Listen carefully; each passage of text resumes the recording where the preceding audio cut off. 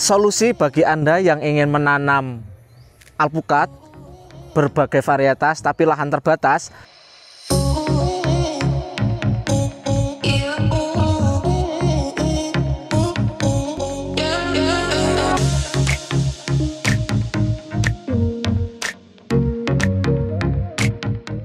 Jumpa lagi dengan kami di channel bibitbuahku.com.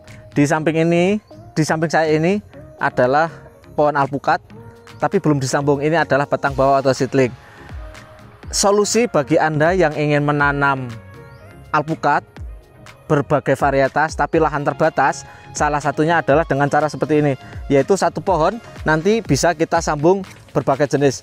Dan ini batang bawah yang sudah diatur percabangannya ke segala arah dan jumlahnya ini ada lima nanti kita sambung satu cabangnya itu ada satu jenis.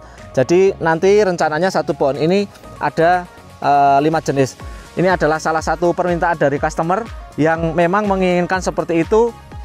Jadi harapannya nanti uh, beliau punya satu pohon tapi berbuahnya ada beberapa jenis dalam satu pohon tersebut ini bisa diatur. Pertama kita arahkan dulu percabangannya sebelum disambung. Dan ini sudah jadi. Nanti kita perlihatkan uh, seedling atau batang bawah yang masih kita bentuk percabangannya. Jadi kita tarik ke kanan ke kiri ke segala arah. Agar nantinya bisa uh, berbentuk open fast.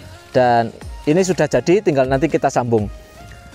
Dan untuk jenisnya sebaiknya disesuaikan dengan elevasi. Jadi jangan anda tanam uh, sambung dengan alpukat misal khas yang itu dataran tinggi kemudian yang satunya mungkin alpukat miki atau alpukat aligator yang itu bagus di dataran rendah. Sehingga nanti hasilnya kurang maksimal. Sebaiknya tanam jenis yang uh, atau sambung dengan jenis-jenis yang kira-kira di elevasi tertentu itu uh, setara atau seimbang pertumbuhannya. Dan kita perlihatkan bibit yang masih um, seedling yang masih kita atur percabangannya atau arah percabangannya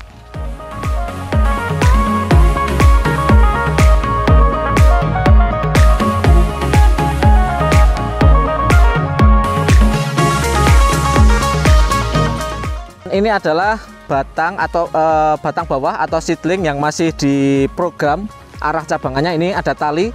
Jadi agar nanti cabangnya itu ke segala arah kita atur dulu percabangannya seperti ini. Jadi tidak bisa langsung kita sambung. Dan juga bagi anda yang tertarik mungkin berbeda-beda. Karena tiap seedling itu atau setiap batang bawah itu tidak pasti sama ada yang dia bisa tiga percabangannya ada yang bisa lima bahkan ada yang bisa enam. Jadi mungkin bagi teman-teman yang pengen membuat seperti ini e, carilah seedling yang pertumbuhannya bagus. Atau jika memang ingin memesan di tempat kami bisa nanti inden kita buatkan dan disesuaikan dengan e, jumlah apa namanya cabang yang kita bentuk seperti ini. Dan ini tinggal kita tarik saja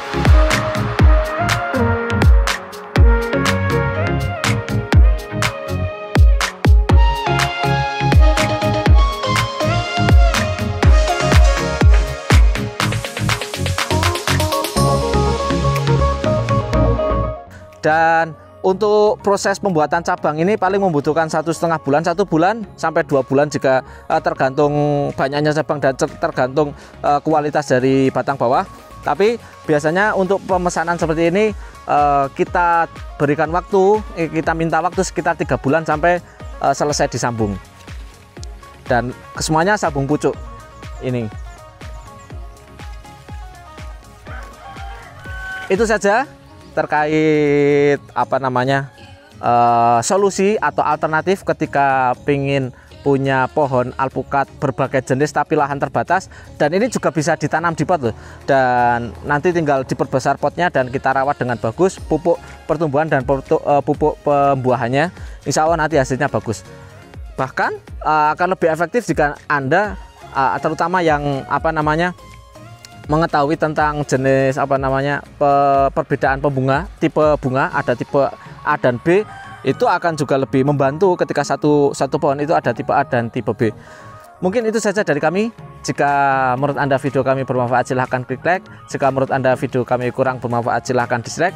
Uh, dan bagi anda yang punya apa namanya pandangan lain terkait uh, perbanyakan seperti ini atau pembuatan pohon seperti ini silahkan tulis di komentar uh, tulis komentar di bawah ini dan sekian ini bibit buahku, mana bibit buahmu?